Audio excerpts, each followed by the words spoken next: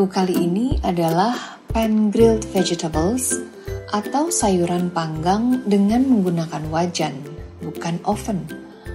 Untuk jenis sayurannya dapat disesuaikan dengan bahan-bahan yang ada. Berikut adalah contoh-contoh bahan yang bisa digunakan untuk menu pan grilled vegetables. Ubi merah atau ubi putih yang sudah dipotong-potong seperti ini. Lalu ada ubi ungu, ada terong, buah bit, kentang, wortel, dan zucchini paprika, dan bawang bombay. Sedangkan untuk bumbunya, kita menggunakan oregano kering, cabai bubuk, lada kasar, garam,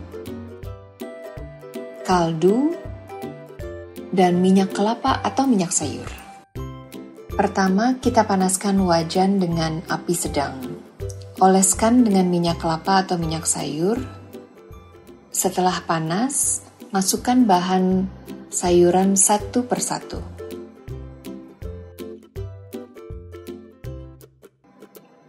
Lalu taburkan garam, sedikit lada kasar, dan oregano kering.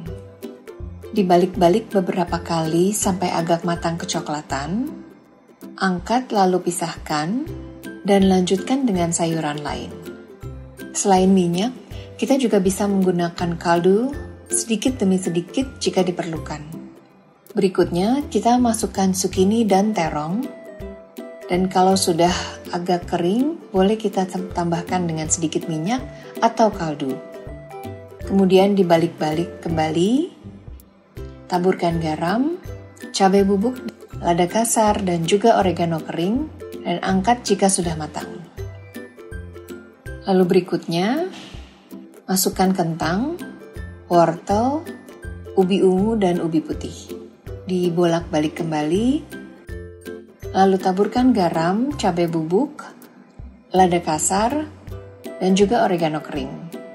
Dibalik-balik beberapa kali dan angkat setelah matang. Lalu terakhir buah bit, karena buah bit ini akan mengeluarkan warna merah, jadi kita akan masak terpisah. Tambahkan sedikit kaldu,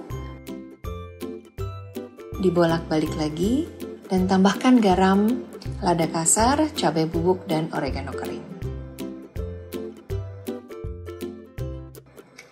Menu ini sangat sederhana, kita tidak memerlukan penyedap rasa. Teknik memanggang dengan wajan seperti ini sudah membuat bahan-bahan sayuran tersebut mengeluarkan rasa alami hanya dengan bumbu-bumbu dasar saja seperti garam, lada, cabai bubuk, dan juga oregano kering. Selamat mencoba!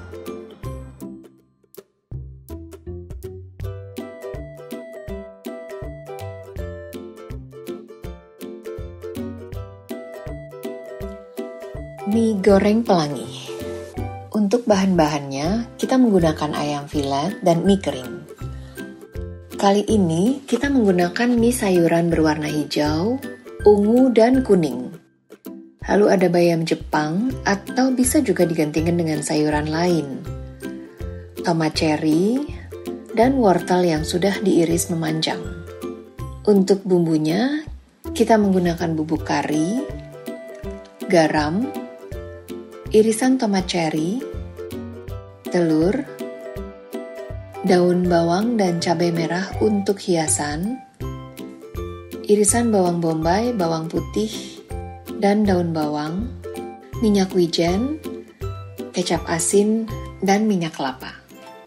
Pertama, kita akan membuat ayam secara terpisah.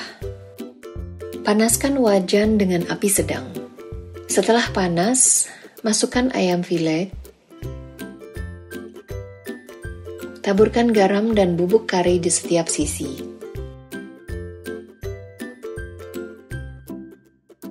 Lalu tambahkan sedikit kecap. Dibolak-balik sampai kecoklatan. Angkat, lalu tiriskan. Setelah agak dingin, dapat kita suir-suir. Sekarang kita akan siapkan mie goreng. Pertama, kita tumis bawang putih, bawang bombay, dan daun bawang bersamaan. Setelah agak harum, masukkan tomat terlebih dahulu untuk menambahkan aroma alami. Lalu karena wortel perlu agak lama, kita masukkan wortel terlebih dahulu, dan jika terasa kering, boleh ditambahkan sedikit minyak atau air kaldu. Masukkan garam secukupnya, lalu masukkan ayam suwir yang tadi sudah disiapkan. Aduk merata supaya bumbunya menyatu. Kemudian kita siapkan sedikit tempat untuk memasukkan telurnya. Tambahkan sedikit minyak, masukkan telur, kita tunggu sebentar supaya agak matang, lalu kita aduk seperti telur orak-arik. Nah, sekarang kita sudah bisa masukkan mie pelangi yang sudah direbus. Tambahkan sedikit kecap, aduk merata, lalu tambahkan sayuran. Sekarang kita bisa menambahkan minyak wijen Sebaiknya menambahkan minyak wijen di saat mie goreng hampir matang. Nah, ini sudah aduk merata dan sudah matang. Mie goreng siap disajikan. Selamat mencoba!